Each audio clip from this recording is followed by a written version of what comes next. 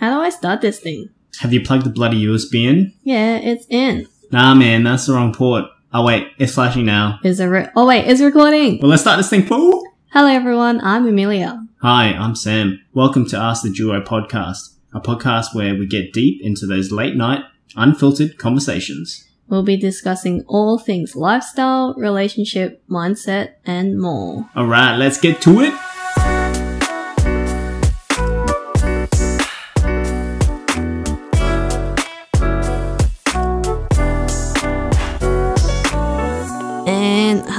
Hello! Hello, welcome we back. are back. Well, I was actually listening to this podcast to from Rise and Conquer by Georgie Stevenson, and she was interviewing this lady called Jordanna Le- Levine. I think that's how you say her last name. Levin Levine, and they were talking about just sections of it was talking about communication styles and communicating, which got me thinking because sometimes I do feel like if I was to talk to someone like depending on who I'm talking to, I don't always get my point across. I find that yes, that can be true because obviously everyone interprets things differently, Yeah. right? So, So this is what got me thinking: Are we good communicators? and that's a that's actually a good question, right? Are we? So do you think you are, like most of the time, or some of the time? Probably ninety percent of the time. Ninety percent. I think ninety percent of the time I am, and then obviously there is that ten percent that people may not perceive what I'm saying correctly. Yeah. So why do you think, or why do you believe that you are ninety percent of the time a good communicator? it's situational based, like different scenarios, and obviously depending on who you're talking to, Yeah. th- that situation may essentially dictate how someone can understand. Yeah, no. But what makes you feel like you're ninety percent good at communicating? I feel like I'm pretty straight. I wouldn't say straight to the point, but uh, I get my point across straight away, and Yeah, I, and I try to. Yeah, that's pretty true. For me, it's probably not as high as 90%, but I think, especially during work, I am a good communicator. Like, I know what I need, I know what to get my point across, and I can change between communication styles. But I feel like when it's within, say, someone that I'm more close with, like a friend or something, I do struggle a little bit more because there's a bit more emotion attached to it. But Right. with you, I think communication is quite straightforward. It's just with friends, I think I struggle a little bit. And it's just because of that emotional attachment. Like, either I feel bad, I don't want to say the wrong thing, or I don't want to step on the wrong toes, or something like that. And that's when I struggle. Right. So you'd say that you adjust your, i guess, your style of Yeah. communication. Yeah. So I think as a person, a personality, I am very adaptable and I chop and change and fill the room a lot. So I change according to that, which we'll touch on a little bit later. But what I wanted to bring up was I was actually researching a bit on communication styles and communication types. And there's this person who actually does the study of behavior of humans. And she wrote a book called Conversational Intelligence, and her name is Judith Glaser.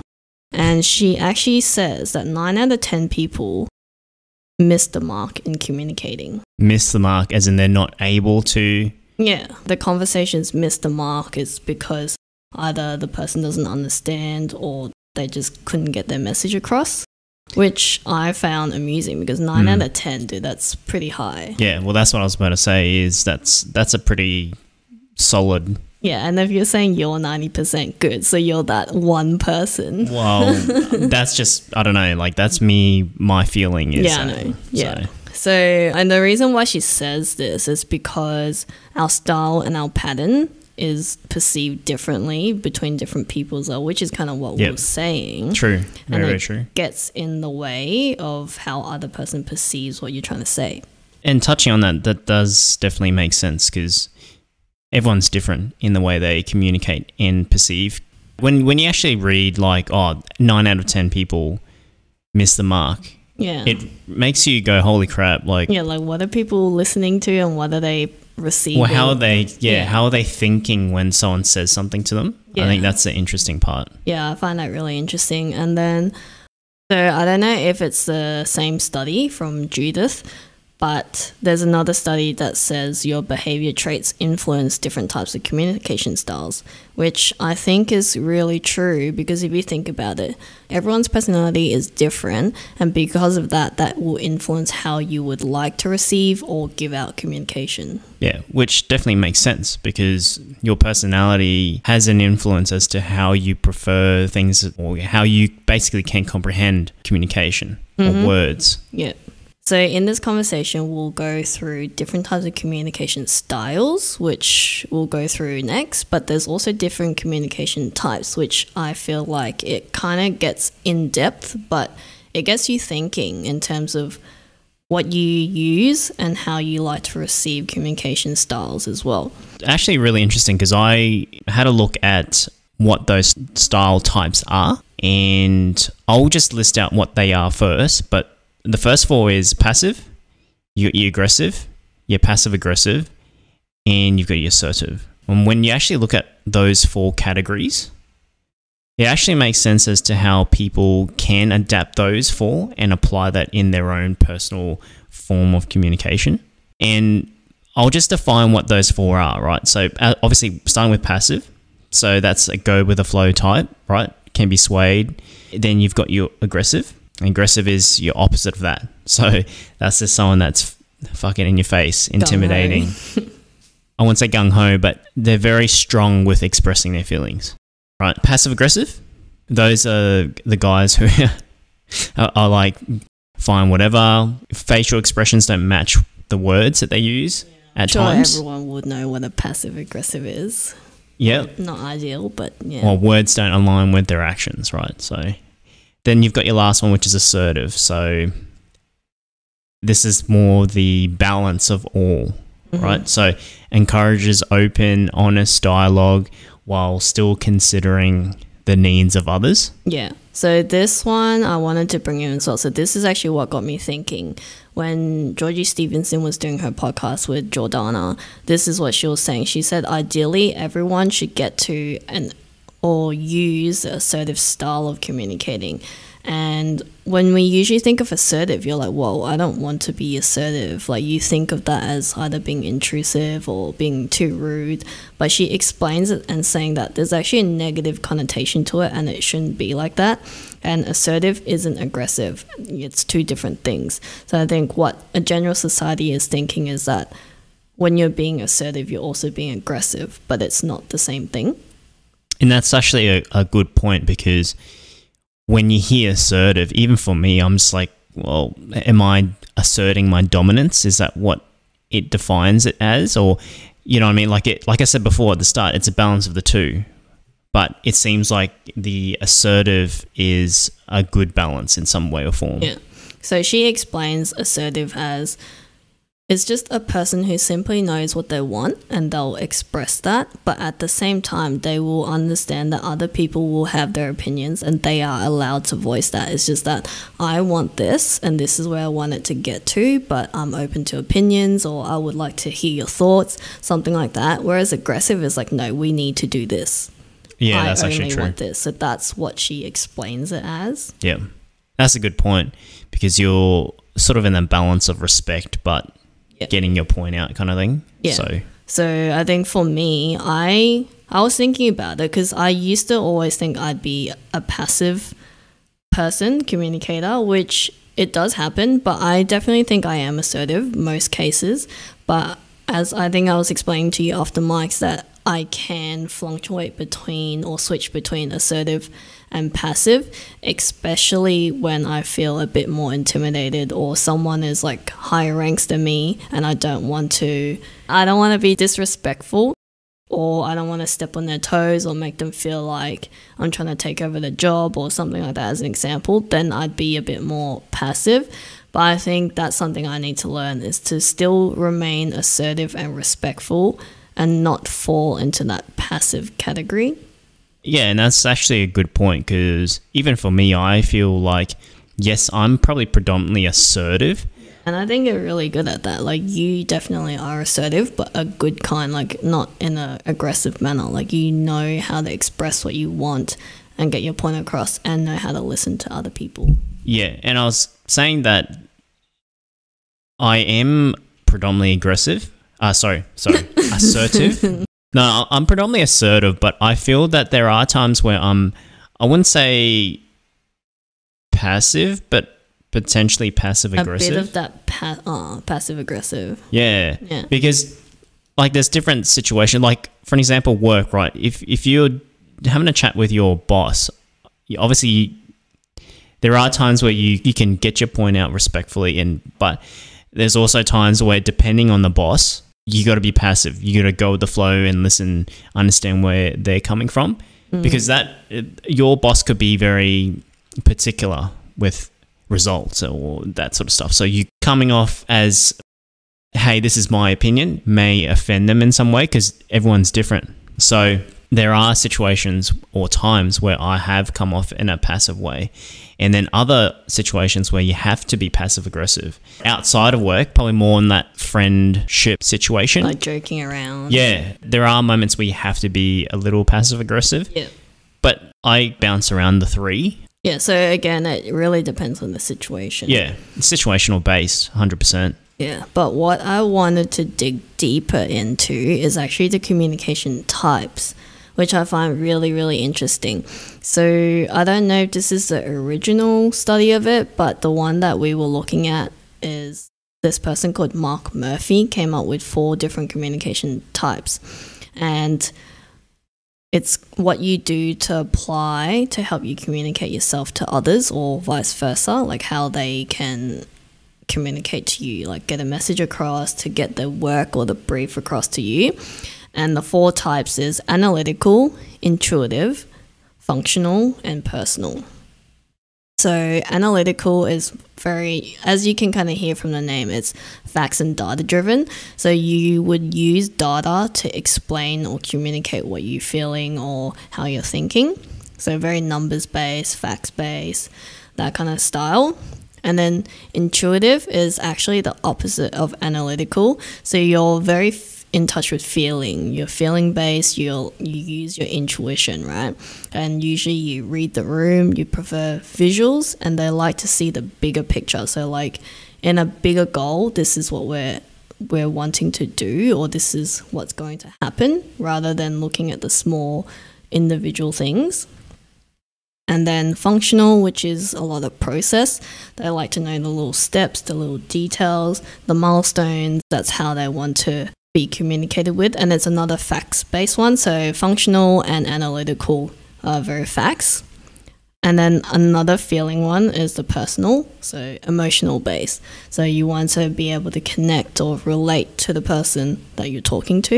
And that's actually pretty cool when you define the communication type because when you define the four types, it actually makes sense that Yeah. there are so many different people who I wouldn't say uh, have a strong suit on one particular type. Yeah. It seems like everyone's a, a variation of maybe two or three or I actually feel like there are some certain people that I've met throughout my life that has one Yeah. certain communication type, but I do also see people who are very adaptable. yeah, yeah, yeah, Yeah, which Yeah. is what I feel. But yeah, like I wanted to re- relate this back to the initial question like, are we good communicators? Yep. I just don't think that anyone's good or bad or- at communicating. I think it's a lack of understanding of these different communication styles and adapting themselves with these types and styles so that they can get their message across. Oh yeah, hundred percent. I think you have to be open to adapt to different kinds of people, right? Yeah, well, it's not openness, having the understanding that there are different people. So if someone is very certain that they're a very analytical person, but they don't want to change their style, then the person who might be more feelings based, they won't ever get what you're trying to say if you're going to be so facts based and they're like, okay, so what's that got to do with, you know, this person who is feeling a certain way? Like they they need feelings or some sort of connection rather than just data. Yeah, and but that's what I mean by being open though. It's understanding that there are other kinds of people out there who talk and receive communication differently. Mm. And it's about adapting like you said, right? Yeah. So I feel for me I am a combination of all four. Yep. So if I apply my communication type to, let's say, work, so as a broker or even a, a banker, I'm all for because that's all required as part of the role. So, for an example, personal, you're thinking with emotions, you communicate with emotions. It's all about building that feeling, that relationship. And that translates to the other three. So, analytical and functional, like you said, it's all about data, it's all about painting the picture, which when you're talking to a client, you need to paint the picture. What's A, what's Z, and how do we get to that point? And intuitive, yes, it is in theory opposite to analytical, but it's about defining the visuals. So if a if a customer or a client comes to you and says, "Hey, my end goal is to buy a home or to get into a home," well, yes, you've painted that picture. Now, how do we how do we actually apply everything to get to that point? All four has a, a, a pretty significant effect when it comes to my role in that situation. Yeah. Now, in my previous role, which was less face to face with customer and client base, I would only have three of those, which is the functional, the analytical, and intuitive. But why do you think you only have three as opposed to It's well, it's predominantly more th- the three, right? So let's say ninety five percent of it is the three, and five percent is the personal, because it's more team based. It's more okay. This is the process. This is set, uh, I guess, direction as to where we need to go. We just need to trust the process and follow it. But wouldn't you, if you're like a team leader or team based, wouldn't you want to apply some of the personal communications because you can connect or relate to a team member or someone that's working under you? Yeah, true.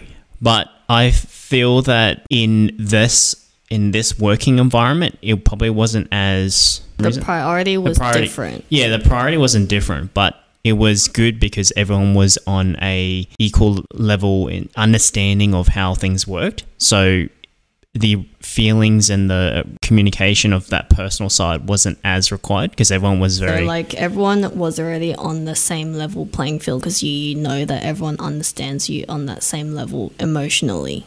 correct. Yeah, when when I was looking at this communication type as well, once I started digging into it and was thinking about my communication type, I actually realized that the way that I receive is also quite different from the way that I give. And I guess it's influenced mostly because I'm thinking of work sense, but it could be true in outside of work too.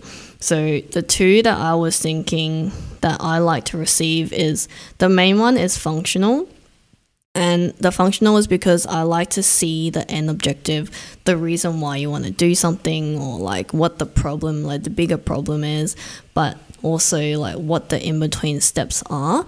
But the reason why I am a mixture of that and intuitive is because even though there's a goal, I don't really care about the like I want little baby steps or like directions, but I don't really care too much about how much we stick to that as long as we can solve the problem or get to the end goal. The in between can fluctuate or like you can mix and match or you can adapt to whatever happens. Right. Yeah, so I think I'm a mixture of functional and intuitive when it comes to like work on someone receiving, like when someone's giving me what they're trying to communicate, their message. I like a bit of that.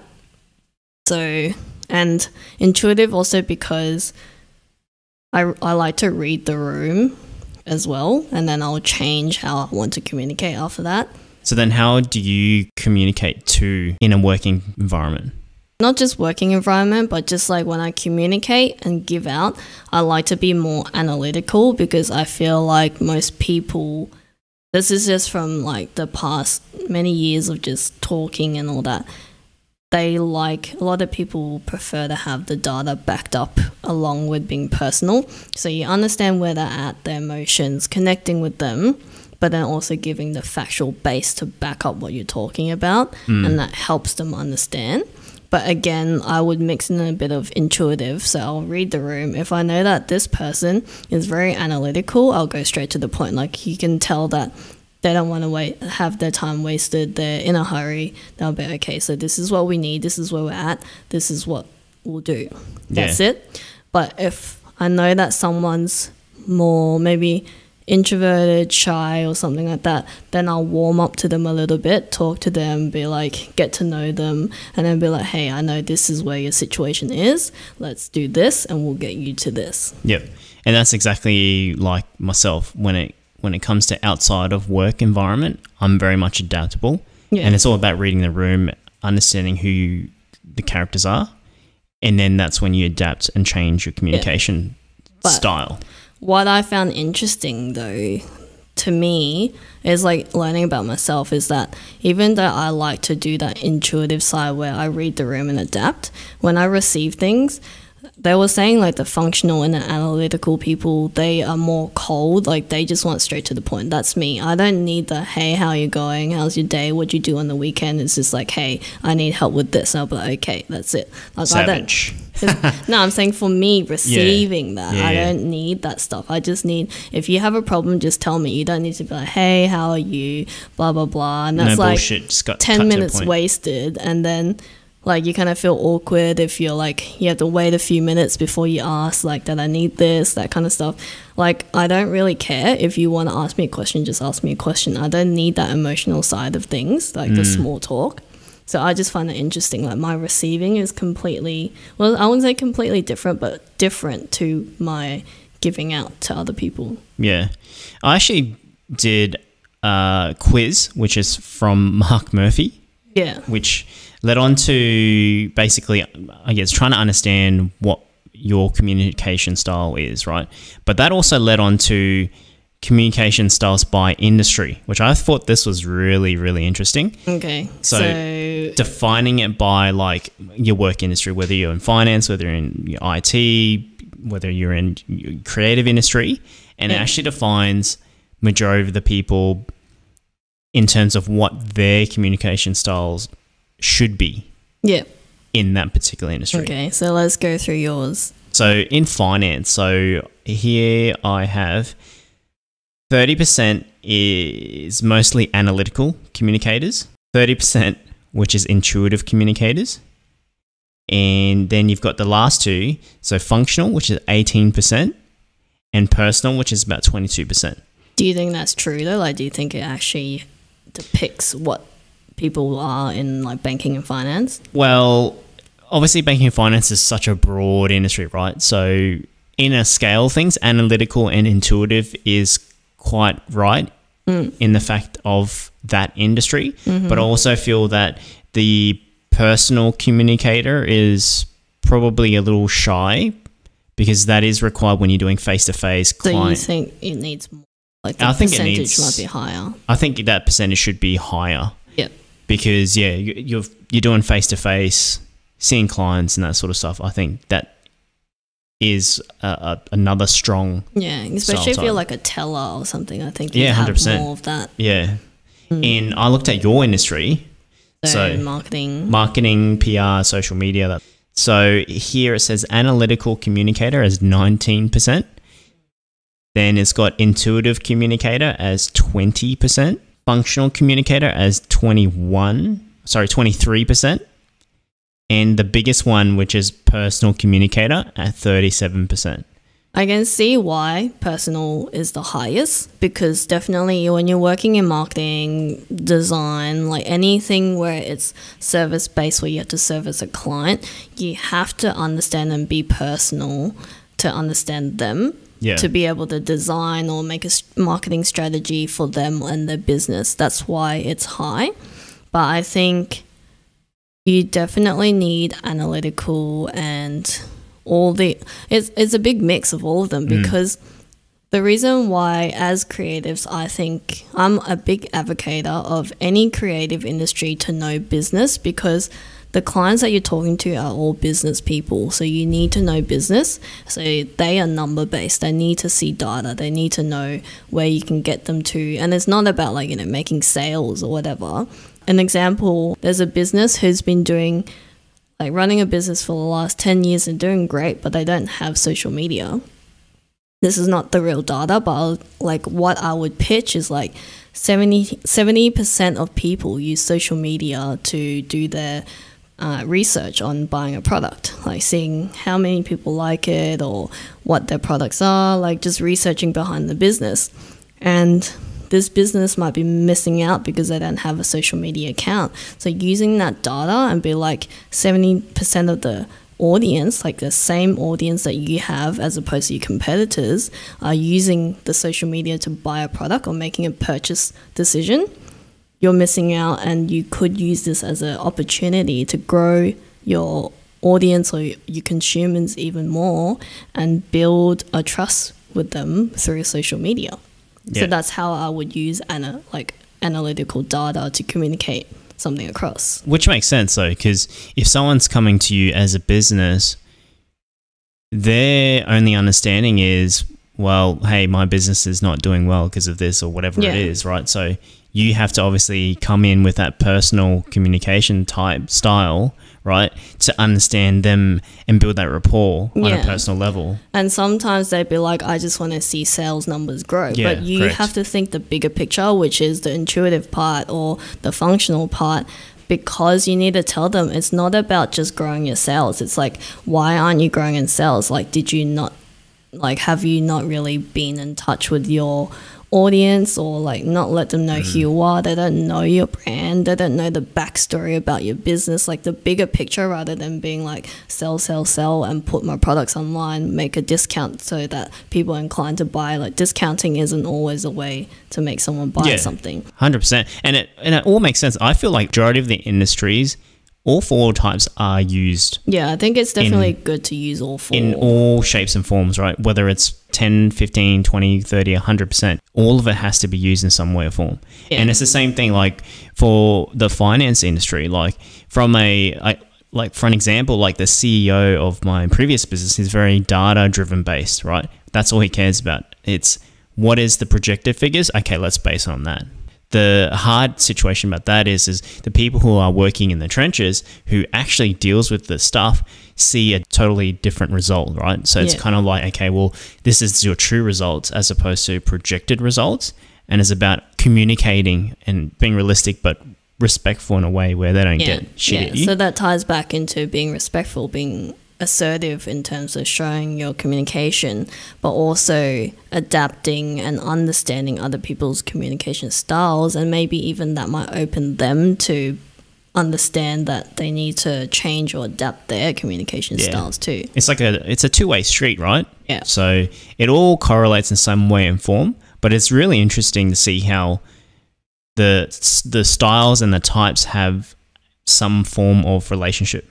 Yeah. So it's really really good to, Yeah. to see in that way. So And I think it's just also interesting how that relates to your personality or someone's personality, which we didn't really dig into, but I think that might be interesting to even talk about that next time. But how that correlates with each other, I think that's really interesting too. But with these, we'll leave the sources that we've mentioned in the description below. But even the test that you took, I think that'd be interesting if Yeah. you wanted to try that out. definitely give it a go because there's I think around 13 questions, but it actually makes you think deep as to how you would respond or even just perceive her. I think it brings awareness to how you communicate, which it definitely brought awareness to me because I didn't know I had different ways of receiving as opposed to giving. Yeah, let us know what communication style or communication type you are and what you prefer as a communication. Are you adaptable or are you on type kind of person? Yeah. And shoot us a DM if there's any questions or topics that you guys would like us to look into. And follow us on all our socials, please, in the link below. All right, closing out. Bye. Bye. Thank you so much if you have reached to the end. We really appreciate you for tuning in. And if you'd like what you hear, please share it with your friends or family and subscribe to our podcast on whatever platform you are listening to. Make sure you share any topics you'd like us to cover or questions you might have to our Instagram. Slide it into our DMs. Bigger, bigger. You can also stay in the loop of all the behind the scenes and the release of our new episodes there too. Our Instagram is Ask the Duo Podcast. That's A S K T H E D U O P O D C A S T. Man, feels like I'm in a spelling bee competition right now. All right, that's it for now, and we'll see you back here for our next episode. Bye.